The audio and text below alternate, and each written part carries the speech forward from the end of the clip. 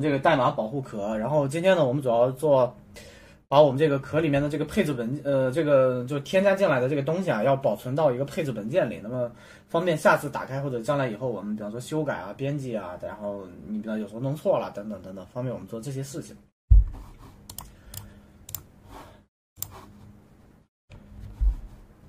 我们看一下我们整个结构啊，打开文件哈。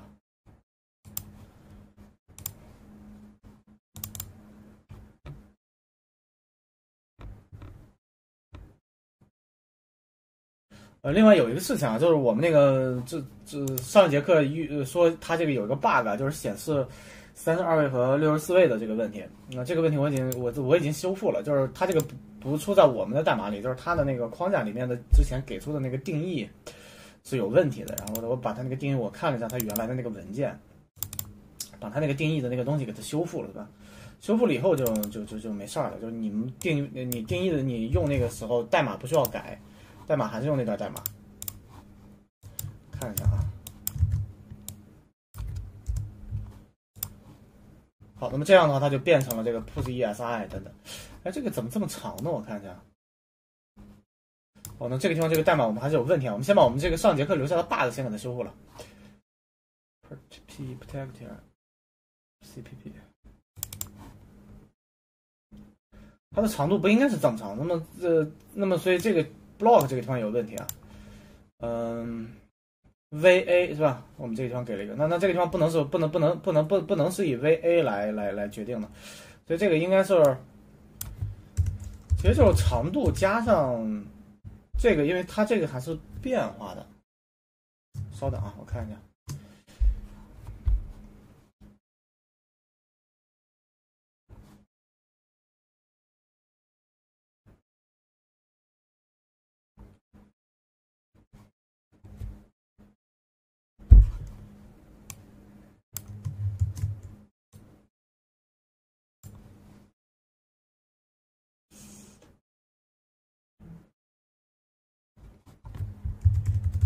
这个应该是等于这个啊，不然的话，它这个不然的话，我们这个长度就总是不对，就这相对全给解析出来了，对吧？我们重新看一下，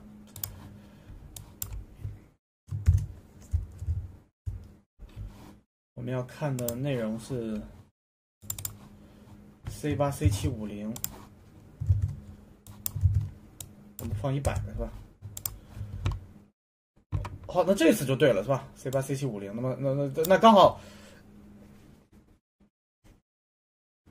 所以我们接下来，比方说我们刚好就要这一段的话，我们重新去创建一下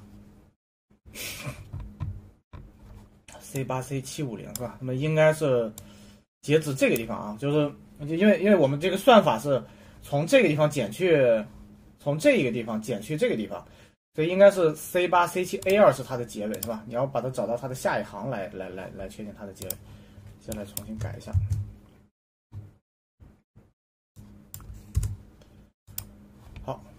那么接下来这个就完整了啊，这就刚好就是我们要的这一段代码，那么这就没问题了。好，这几个小小 bug 修了。接下来接下来看我们这个这个地方，我们每次添加的时候把它保存到一个配置文件里。那么这个就最简单的，我们直接用 ini 文件其实就够了。所以的话。那么这样的话，最好是我们每一个程序，就是你每每一个这个，就这个以文件名为单位吧，就每个文件名我们都有一个自己的一个程，就都有一个自己的配置文件，每个文件名都有一个自己的配置文件。那么这样的话，它就能够自动的加载这个什么呢？加载这个配置啊，等等等等这一系列的东西。在开始之前呢，我们先做一个事情啊，因为我们这个项目就未来它里面的元素肯定是越来越多，所以不能不能说我们每次编译都把它编编译到一块儿，是吧？所以我们要稍微的调一下，就是给它归一下类。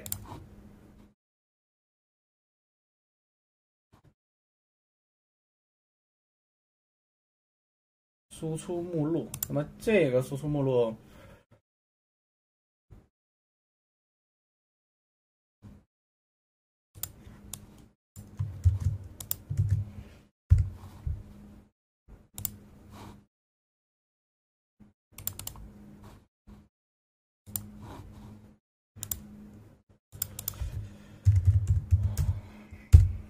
这个就手动指定吧，因为为什么手动指定呢？因为因为它俩是在一起的，然后接接下来我们重新生成一下。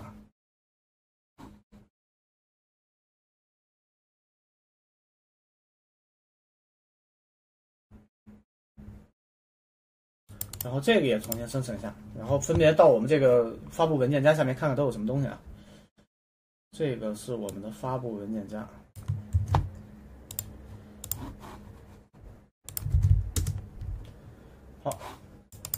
干净多了哈，干净多了。那么这个 protect 那么就在 protect 下面，然后我们登录器项目就在登录器项目，因为说将来有其他项目就在其他项目，这样的话互相他们互互相不乱，不然弄到一块儿就特别乱。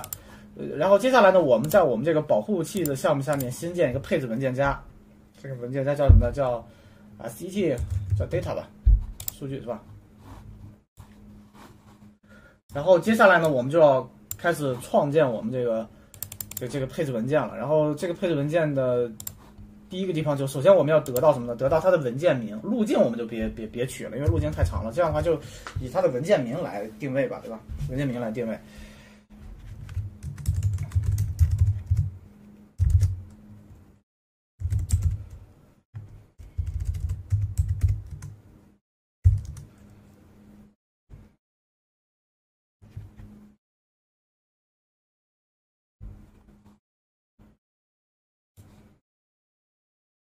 所以这个还得是在它成功的情况下，如果它这个地方都没有没有打开成功，我们就不去干这个事儿了，是吧？你文件都打不开，我还看你的配置文件干嘛呢？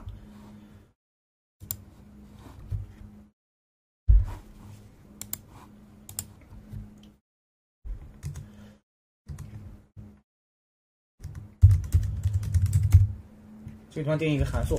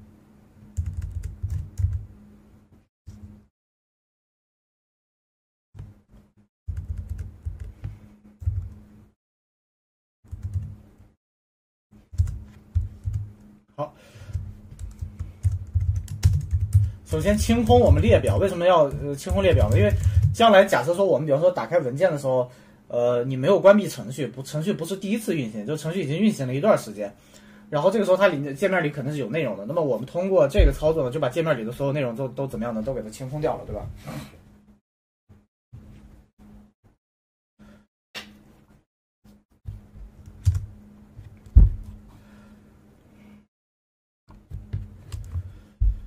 然后下一步呢，开始建呃，下一步呢，我们求一下它的这个，求一下它的这个路径啊，它这个路径，路径的话我们之前写过了，写过的话再写一次，直接抄吧，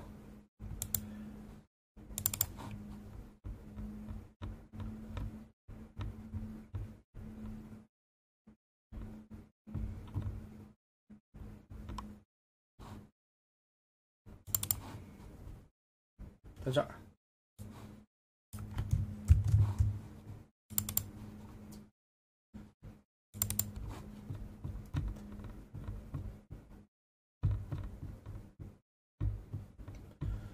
找到它初始化的一段代码，在这个地方求一下它的路径。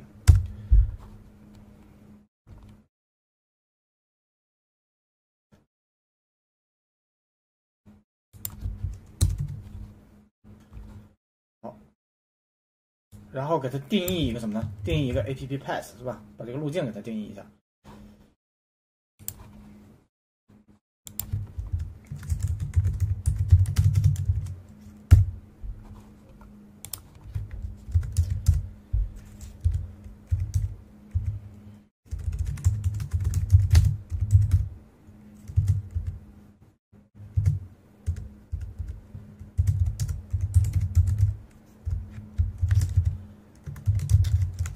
百分之 s，然后因为两个斜杠应该已经有了，两个斜杠已经有了，所以呢，我们这两个斜杠就就来看什么呢？是它的这个 data 文件夹，然后是百分之 s 点 ini，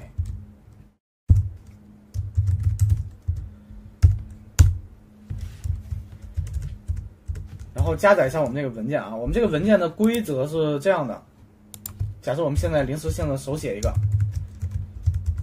那么第一个呢，它要有一个 count 是吧？代表一共有多少列？你比方说一列、两列是吧？你比方说有一个。那么接下来呢，我们第一个名字好起是吧？它里面有几个节点呢？第一名称是吧？第二呢，启动的这个。Start 等于四五二零零，或者说干脆用数字吧，这个，因为数字的话，我看需不需要转化，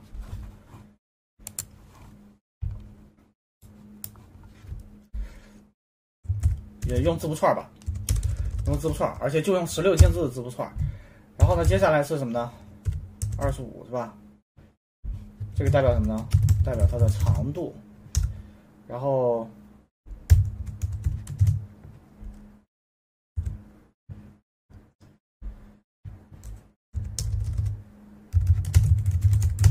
机子，好，那么就这样的话，这几项基本信息就都有了。那么我们主要就把这个东西给它读出来，然后加载到什么呢？加载到我们的这个列表里，然后就可以了，是吧？然后就然后就可以了。我开始写代码。哎呀，这个第一次得鼻炎，原来这么难受。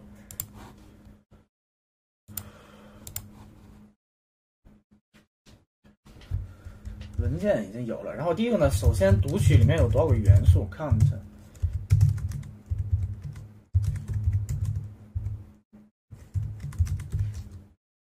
这个也是我们之前做那个 Game Hacker 时候用过的，我们 Game 也是基础课项目里面的有一个，有个项目讲过这个东西啊，所以这个我就不多说了，就是基本上就是根据它的这个节点，然后去读取它的东西，如果读不到这个数据，默认为零哈。然后呢，读取的文件是这个 ini 这个文件。然后呢，接下来 int i 等于零，i 小于 count i 加加。好，这时候我们需要一个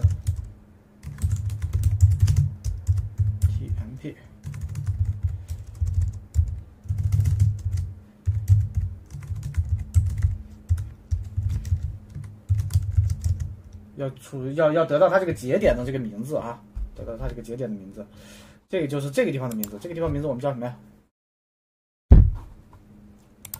就叫 code 吧。好，有了这个名字以后，接下来呢就要开始读了，是吧？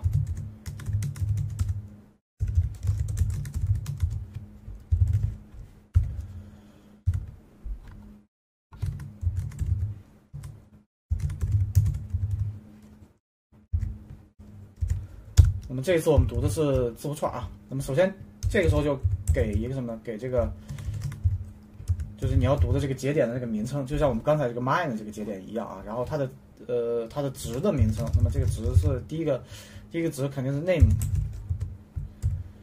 第二个如果没有名字读不出来就就是没有是吧？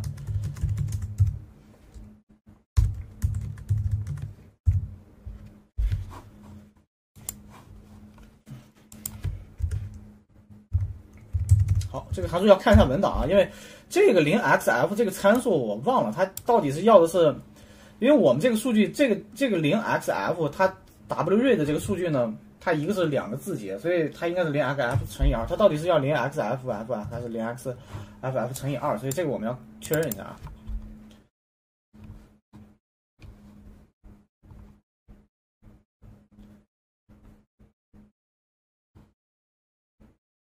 The size of the buffer 是吧？那么这个应该是求的是这个，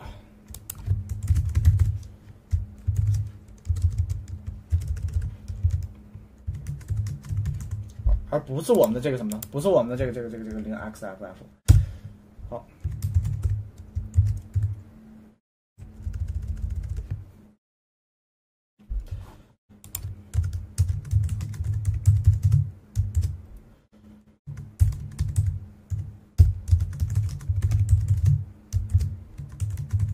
，start。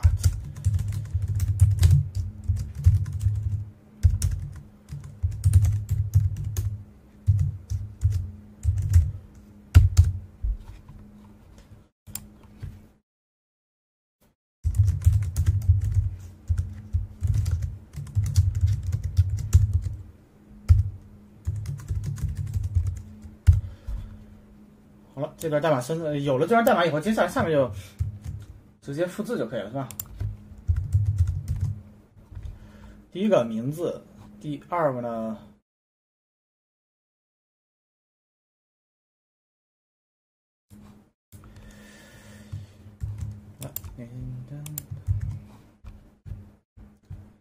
第一个名字，第二个是 start，第三个呢是 base。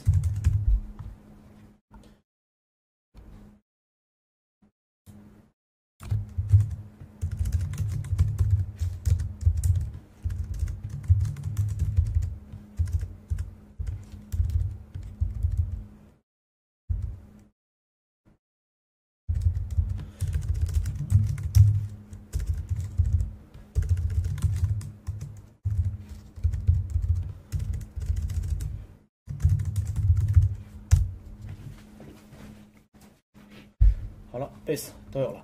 那么接下来还有一个什么呢？还有一个长度。为什么长度这个地方我们用的是这个？因为你将来还要考虑到一个情况，你这个东西加载加载上来以后，其实我们是不用的，对吧？那么如果不用的话，就没有必要给它转，因为你只有当你用它之后，你再考虑转的问题。所以呢，这个时候呢，既然我用不着这东西，那我就那我那我就干脆给你放成字符串就好了。因为我们界面显示的显示的呢，也刚好是这个什么的，也刚好是那个那个字符串，所以所以所以所以就是这个原理啊。这个原理，那这个长度这个东西，你因为你要用，你通过长度的话，你才能还原出那个，还原出它的那个，它的那个那个结束的那个地址是吧？所以长度这个东西没有办法，这个你只能保存成一个 int 的一个数据了。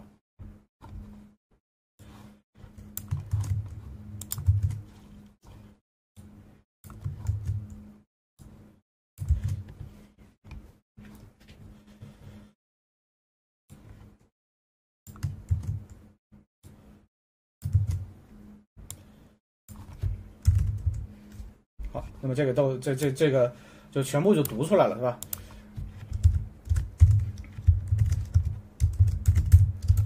那么长度首先得大于零吧，长度不大于零，这个东西就就说明就读取失败了。那么这个这个我们就就就不用，是吧？那么但是如果大于零的话，那就说明你现在你得需要给这个整个序列里面去加这个加这个相关的内容了。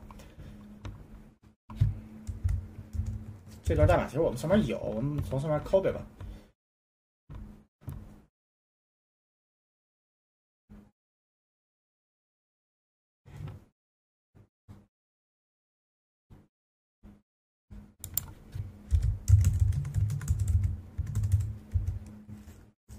这两年还没有这个。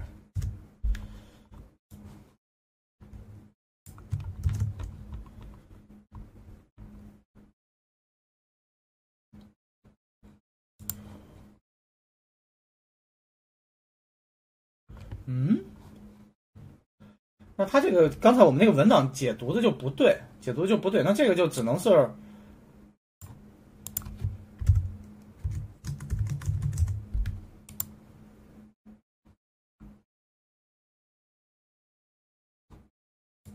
那就是零 xf，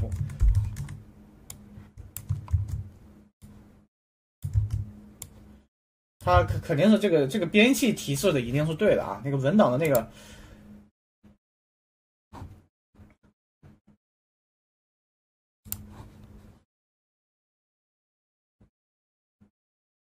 ，size buffer point。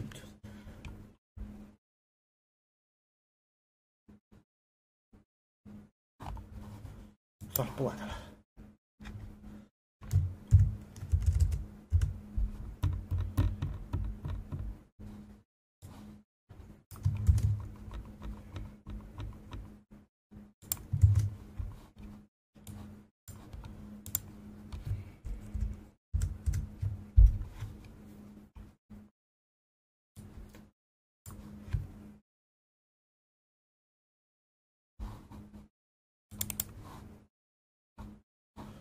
这个我们把它分装成一个函数啊，因为因为两个地既然两个地方都在用这一段代码，那我们就分装成一个函数。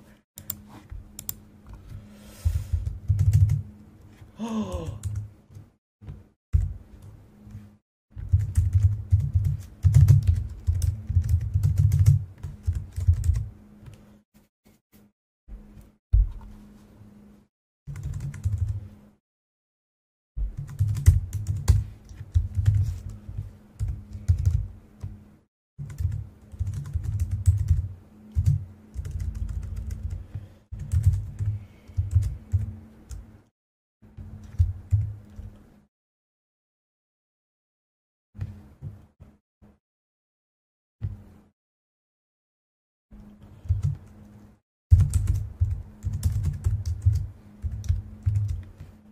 第一个名字，第二个，嗯，名字，base，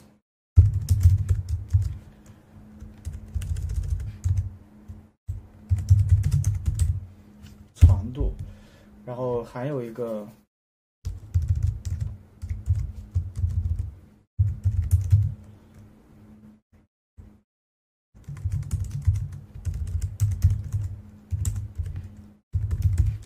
好，也就是说，这个是什么时候加载的？如果是我们这个程序启动的时候加载的，加载文件时候加载的，那这个时候就不需要去写什么呢？不需要去生成配置文件。否则的话，你其实在这个地方我们要关联的是什么呢？关联的反向的，你这刚才有读取配置文件，那么我们肯定就要有有这个生成配置文件这一步操作，是吧？那么接下来，首先这个地方，所以就是 addcods 名字。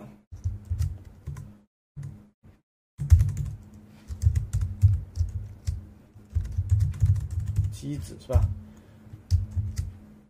长度，然后默认是什么？默认它是有这个。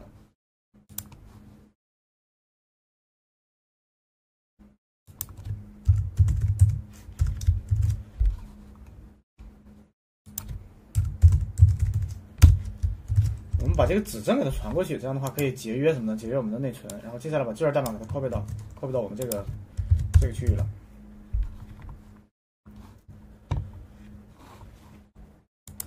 为了我们那个以后看起来方便，我们就不搞这么多花里胡哨的东西了。这个什么零 x 八要搞吗？让我想一下啊。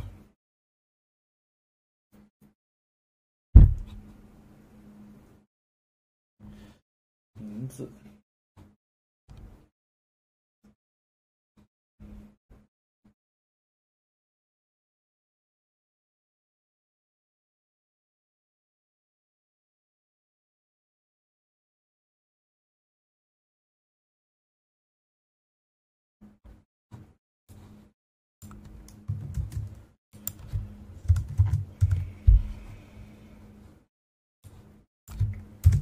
这个不用管它，接下来是什么呢？接下来是这个机子跟这个这这这个东西的问题了。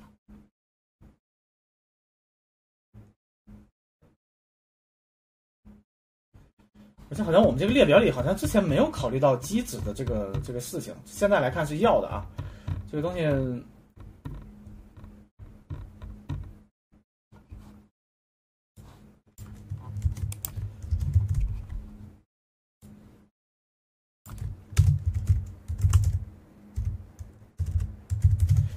机子要这个东西，主要是为了以后你二次分析和二次编辑的时候，主要是为了这个时候方便。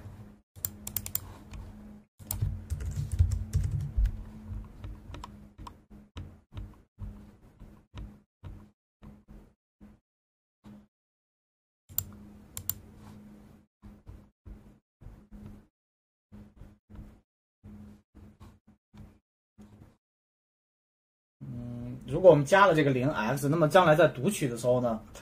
我们就得把这个零 x 做一个处理，但是好看，处理就处理一下吧，反正现在电脑这么快，是吧？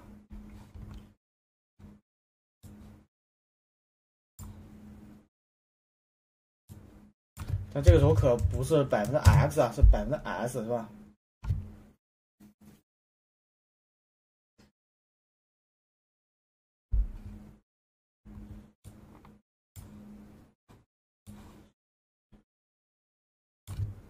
加载的时候它应该是处理好的。base name 哦，我们这地方还少一个。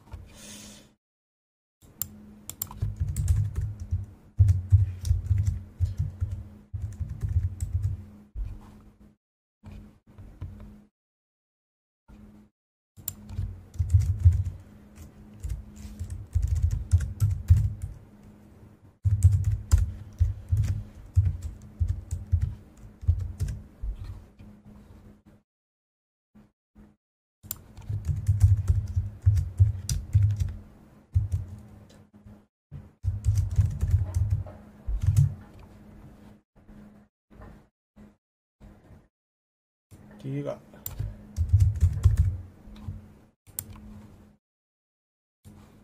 第二个是机子，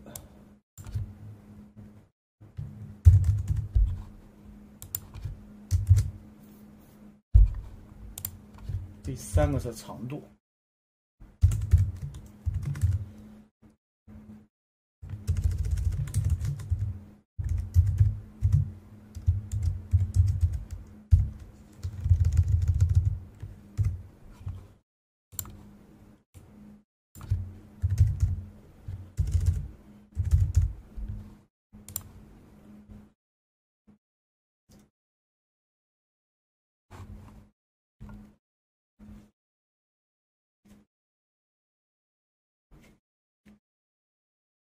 你想一下，这张是我们是要放长度还是放结束啊？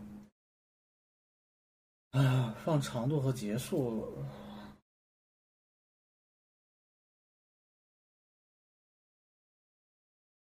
都可以是吧？都可以，也可以两个都放，也可以两个都放。放长度的话，放结束的话，就是将来你看起来可能会方便一点，有可能直接去那个能找到那个结束位置，你不用去算。如果放长度的话。那就都放满了吧，再加一条，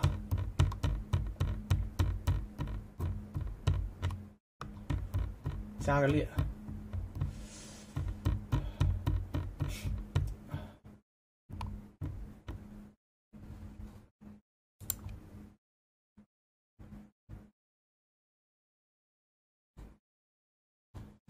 这个这个这个没事啊，因为他看不懂咱这段代码干了什么。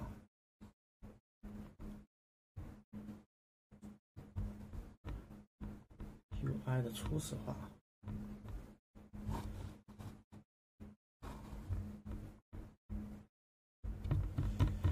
哎，我的 UI 初始化代码跑哪去了？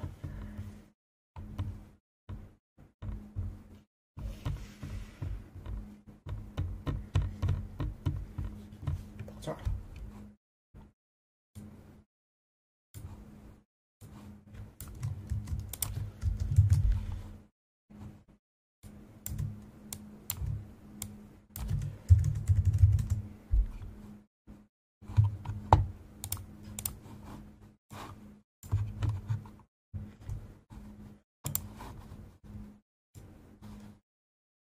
好，接下来是什么？接下来是我们的长度。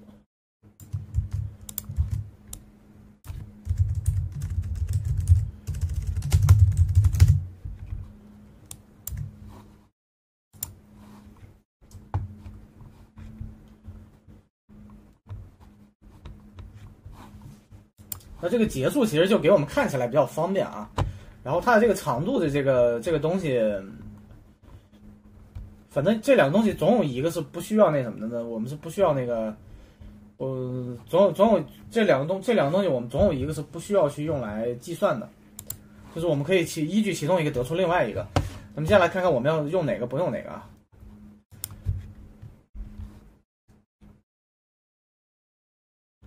那整个函数还得重新再调一下啊。那么因为我们整个结构都变了，那么这个地方又要重新调一下。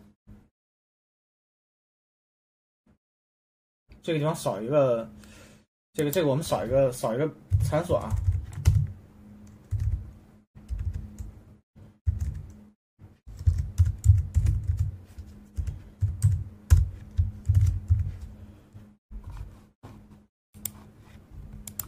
那我们这个地方既然都要算了，那我这个地方我就没有必要去用你的这个 C string 的类型了，那我就把它储存为 int 数据类型就可以了。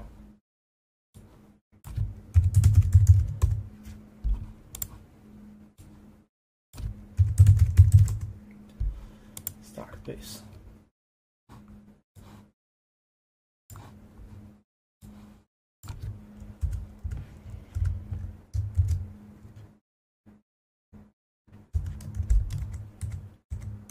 对不起，是我草，是我是我草率了哈。base 还得存存存成这个 C string 的类型，因为机子我们不参与运算，所以就无所谓了。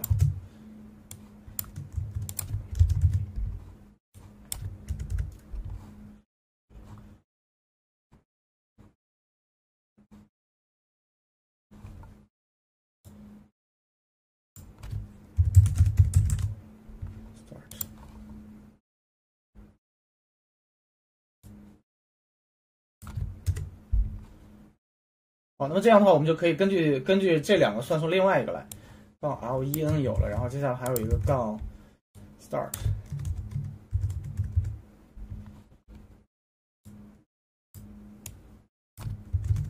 好，OK 了。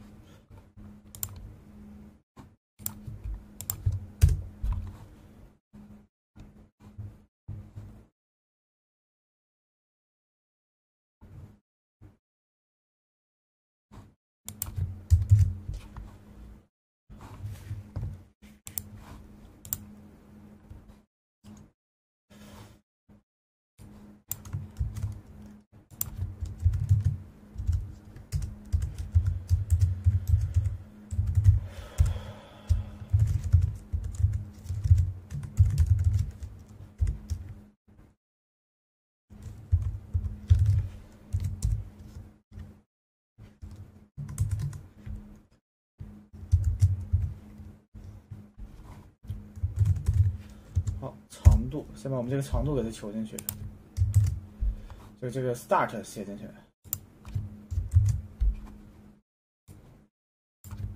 那么结束是吧？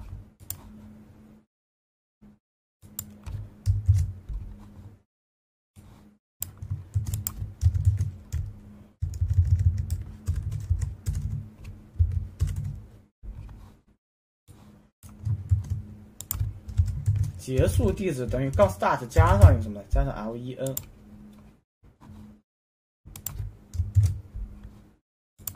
然后机子，机子有了以后，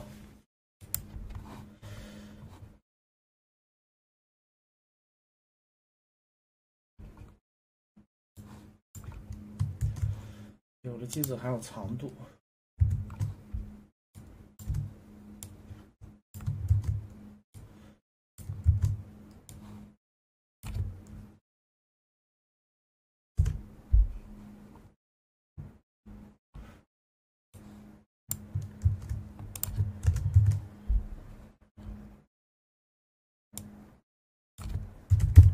长度我们也把它，长度这个就没有必要了，这个地方完全没有必要。好，长度也有了哈。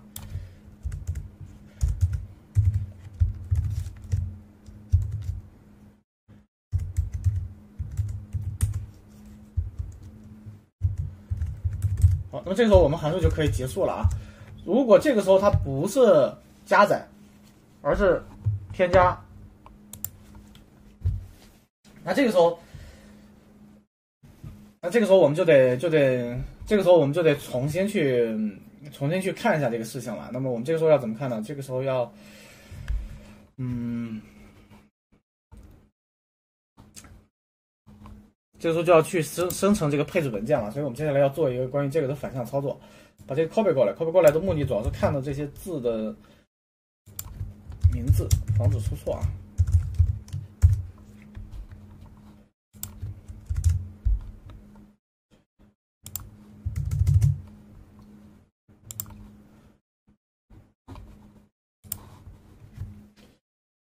我们把这个配置文件保存进去的话，有两种选择。第一种是我们重新根据我们这个整个 list 的表全部保存一遍，那么每个添加每添加一次全部保存一遍。那么这个的话肯定是万无一失，绝对不会错啊。呃，当然也有另外一种方案，就是只只只就根据我们现在新增的这个来增加。那么本例来讲的话，让我想想啊。